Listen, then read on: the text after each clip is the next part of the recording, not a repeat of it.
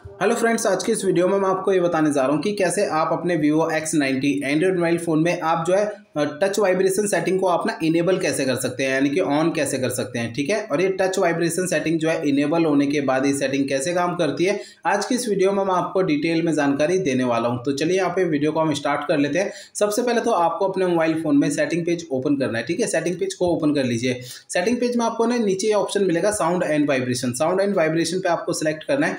आप sound and vibration के इस पेज में आपको सबसे नीचे ये ऑप्शन मिलेगा, ये टच वाइब्रेशन का, ठीक है? टच वाइब्रेशन इस ऑप्शन के ठीक सामने जो बटन दे रखा है ना, इस बटन को आपको टैप करना है तो ये बटन आपका ब्लू कलर में इस तरीके से ऑन हो जाएगा, ठीक है? यानी कि आपकी टच वाइब्रेशन सेटिंग इनेबल हो जाएगी। अब ये सेटिंग जो है ना इनेबल होने के बाद ये सेटिंग कैसे काम करती है, ये मैं आपको समझा देता हूँ। देखिए, आप अपने मोबाइल फ़ोन के किसी भी पेज पे होंगे या फिर किसी भी एप्लीकेशन के अंदर होंगे ना, अगर आप किसी भी ऑप्शन को या बटन को टच करेंगे तो आपका मोबाइल फ़ोन जो है वाइब्रेट करेगा। ठीक है? वाइब्रेशन क्रिएट होगा आपके मोबाइल फ़ोन से, ठीक है? जब भी आप किसी भी ऑप्शन या बटन को टच करेंगे तो। तो ये सेटिंग जो है ना टच वाइब्रेशन सेटिंग इनेबल करने के बाद इस तरीके से काम करती है आपके फ़ोन में।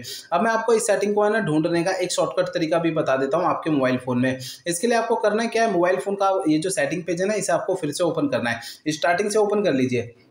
यहाँ पर सेटिंग पेज में आपको सबसे ऊपर ये ऑप्शन मिलेगा सर्च आइकन इसे सेलेक्ट करना है और यहाँ पर आपको सर्च बार में टाइप करना है सेटिंग का नेम टच वाइब्रेशन ठीक है? यहाँ पर हम टाइप कर देते हैं टच वाइब्रेशन इस तरीके से तो आपको जो है ना नीचे की साइड ये ऑप्शन शो हो जाएगा टच वाइब्रेशन का, ठीक है?